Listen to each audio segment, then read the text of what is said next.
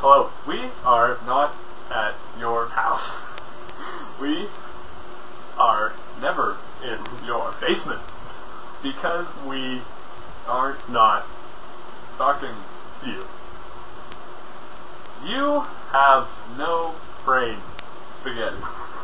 I have brain, spaghetti.